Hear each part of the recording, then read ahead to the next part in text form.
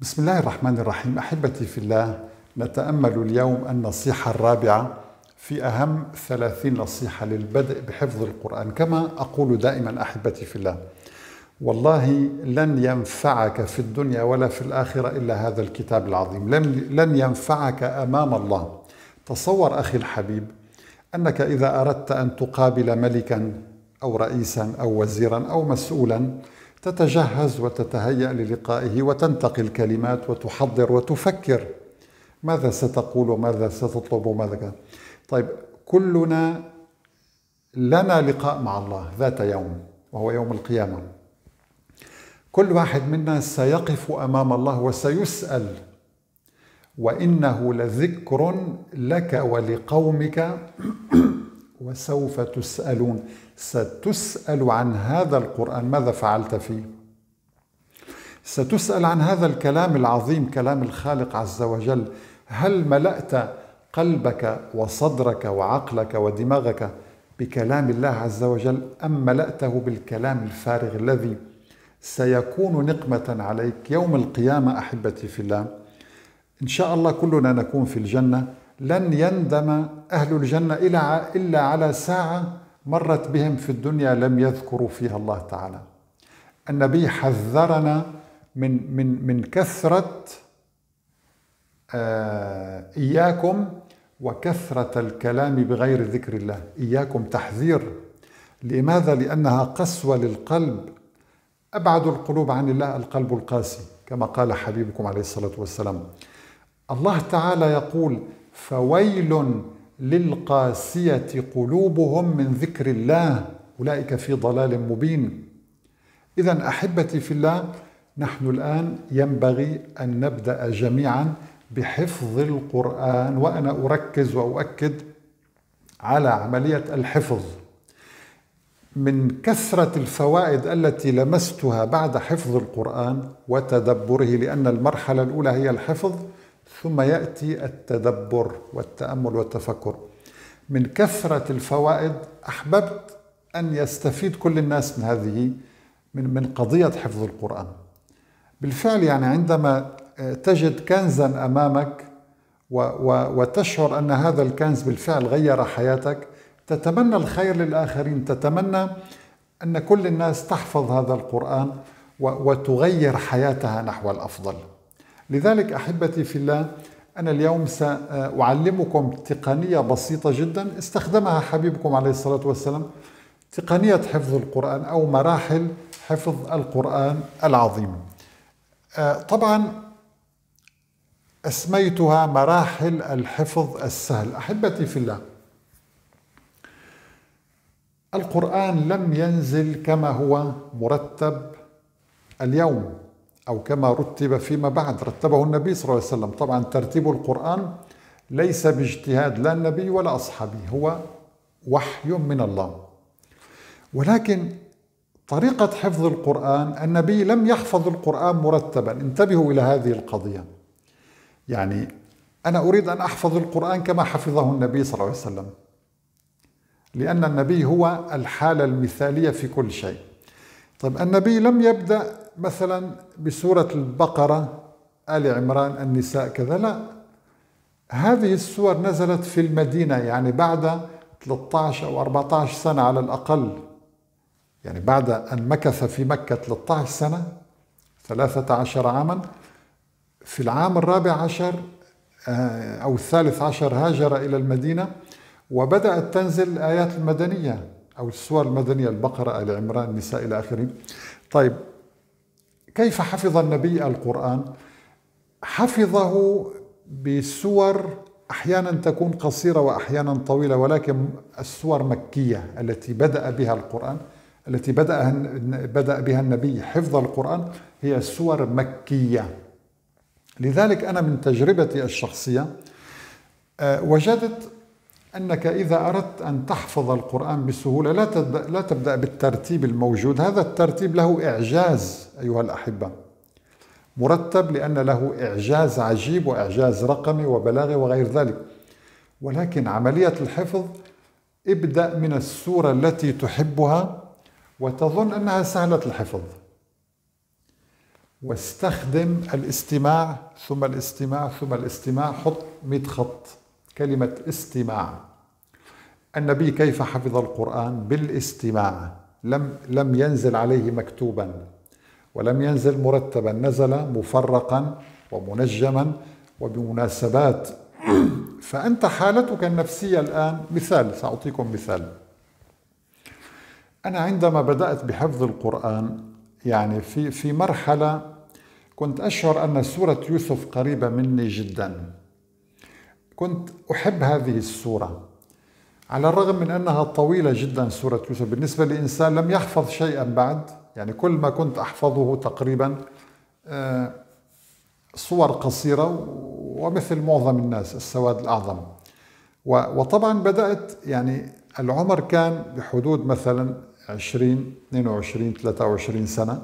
ف, ف آه، يعني أكرر أيضا قاعدة أن الحفظ لا لا يجب أن يكون في الصغر. طبعا في الصغر أفضل ولكن حتى الذي عمره سبعين سنة يستطيع أن يحفظ أيها الأحبة حتى لو لم يعرف القراءة والكتابة يستطيع أن يحفظ. لا تضع مبررات لأنك ستقف أمام الله. الله يعلم ما في القلوب يعلم ما في قلبك. لا تحاول أن تبرر وتقول ليس لدي وقت. طيب يعني وقت العمل. ومشاكل الأسرة والهموم الدراسة والعمل وكذا والأصدقاء. أهم من لقاء الله؟ يا أخي يجب أن تكون حياتك كلها لله عز وجل. يجب أن, أن, أن تنظر نفسك لله. هذا هو المؤمن. وما خلقت الجن والإنس إلا ليعبدون لم يقل إلا ليعملون. الله هو الذي يرزق. كيف يرزق الطيور؟ كيف يرزق النمل؟ ليس عاجزا هذا الإله العظيم أن يرزق انسانا يحرص على كلام ربه عز وجل. لذلك أحبتي في الله عليكم بالبدء باختيار سورة أنت تناسب حالتك النفسيه الآن ربما إنسان لديه نوع من الحزن. يحب سورة يوسف لأن فيها قصة رائعة جدا عندما يعني مثلا أكثر آية تؤثر في عندما قال سيدنا يعقوب بعد أن فقد ابنيه المدللين يوسف وأخاه فقدهما ومكر به بيوسف إخوته. وكان حزينا جدا. ماذا قال؟ إنما أشكو بثي وحزني إلى الله. وأعلم من الله ما لا تعلمون. هذه الآية عندما تكررها تشعر أنك تخلصت من الحزن سبحان الله تخلصك من من الوضع الكئيب الذي تعيشه. فلذلك أنت في وضع نفسي معين ربما تجد سورة مريم تناسبك. ربما تجد سورة ياسين. ربما تجد سورة السور القصار قل هو الله أحد. ربما تبدأ من هنا. فالبداية لن تكون عندي ستكون عندك. أنت طبعا تفتح القرآن وتختار ما ييسره الله لك. طيب الشيء الثاني أيها الأحبة حاول أن تستمع إلى السورة التي تحبها عشرات المرات. عشرين ثلاثين مئة مرة ألف مرة لا مشكلة. ولكن الاستماع ينبغي أن يكون بتدبر وتأمل. أنا سأقول لكم شيء ربما يعني أنا المرة الأولى أقوله. أنني أساسا لم أقرأ تفاسير القرآن. أنا أساسا لم أقرأ أي تفسير من تفاسير القرآن. فقط كنت أستمع للقرآن وأتأمل. وكان لدي يقين أن الله قادر على أن يعلمني. وقادر على أن يعلمك كما علم حبيبه عليه الصلاة والسلام كما علم الخضر. وآتيناه من لدنا علما. الخضر كيف تعلم؟ هل كان لديه معلم؟ الله علمه. طيب حبيبنا عليه الصلاة والسلام ما الذي علمه؟ لم يدخل في مدارس ولا جامعات وكان أصلا أميا لا يقرأ ولا يكتب. علمه الله. طيب سيدنا يوسف كان في السجن وكان بين قوم كافرين. كفار كانوا. طيب من أين جاء بعلم التأويل أو علم الرؤى أو تفسير الأحلام التأويل؟ من أين جاء بهذا العلم وهو في السجن؟ الله هو الذي علمه أيها الأحبة. فيجب أن تثق بالله. قبل أن تبدأ بحفظ القرآن قل أنا واثق أن الله سيعلمني. وبالتالي عندما كنت يعني أنا أحب أن أوصل لكم تجربتي الشخصية مع حفظ القرآن ربما تكون مختلفة عن الطرق التقليدية لأنني لم آه، يعني أتلقى مثلا على يد شيخ أو على يد آه، أو حلقة تحفيظ يعني آه، قرأته وتأملته واستخدمت هذه الطريقة طريقة الاستماع الكثير جدا ولكن مع تدبر وتأمل وخشوع. يجب أن تخشع يجب عندما تقرأ آية فيها عذاب تتصور وكأنك أنت تلقى في نار جهنم الآن يقشعر بدنك عندما تمر بآية آه، نعيم إن المتقين في جنات وعيون تتخيل هذه العيون والينابيع وهذا النعيم الدائم أنك أنت تجلس فيه الآن. يجب أن أن تتخيل كل كلمة تستمع إليها الآن أنك تعيشها. هذا الأسلوب سيعمق لديك مفهوم عظيم حول إسرار القرآن أيها الأحبة وإلا المفسرون الأوائل كيف وصلوا إلى هذه التفاسير وهذه الإبداعات في التفسير؟ لأنهم جلسوا وتأملوا وتدبروا سنوات طويلة فتح الله عليهم.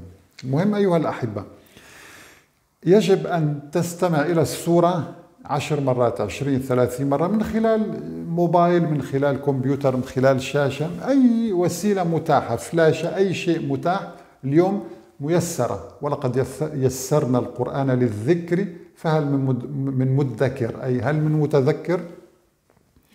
بعد أن تستمع افتح القرآن على هذه السورة ستجد أنها مألوفة بالنسبة لك. ركز على أن تستمع لهذه السورة طوال الليل. يعني أنا لدي على موبايل أضع صور محددة أحبها وأشغلها. هناك برنامج تشغيل على الموبايل يكرر الصورة فأضعها و آه، يعني أنا مثلا آه، منذ أسبوعين ثلاثة أسابيع سبحان الله آه، يعني أستمتع بالاستماع إلى سورة الأنفال. سورة الأنفال أقل من ربع ساعة أتصور يعني كترتيل.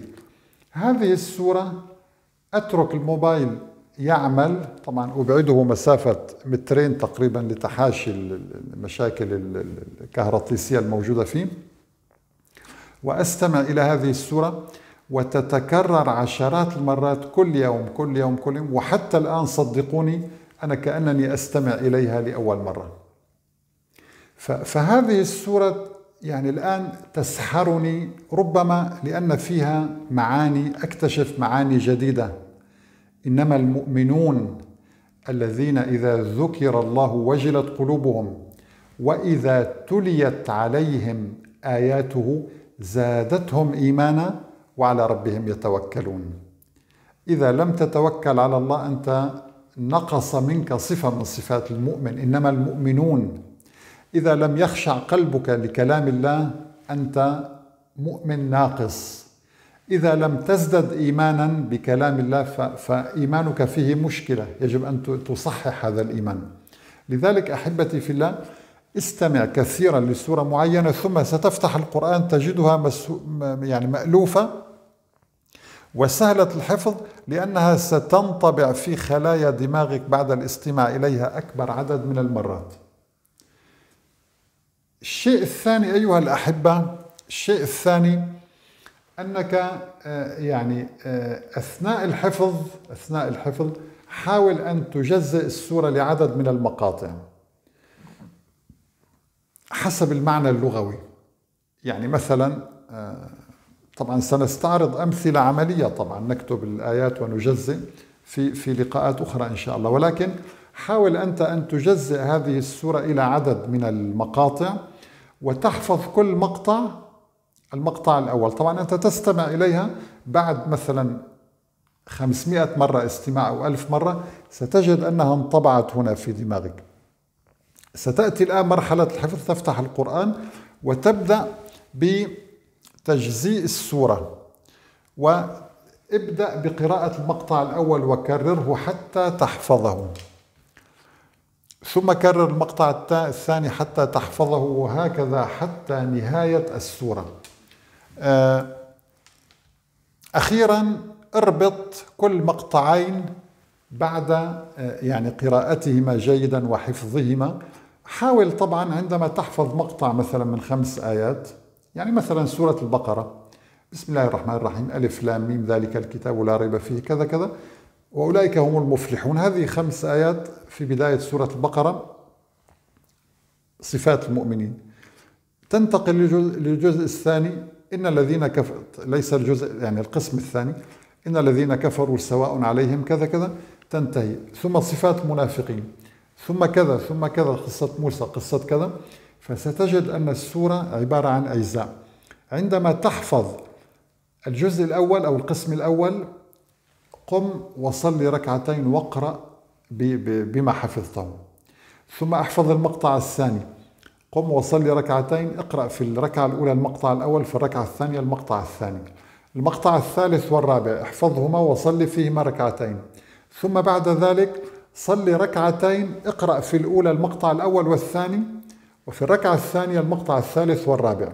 حتى تجد وسائل ربط أربط المقاطع ببعضها. بعد فترة ستجد أن حتى سورة البقرة سهلة. ستجدها سهلة. طريقة تجزيء هذه السور إلى مقاطع.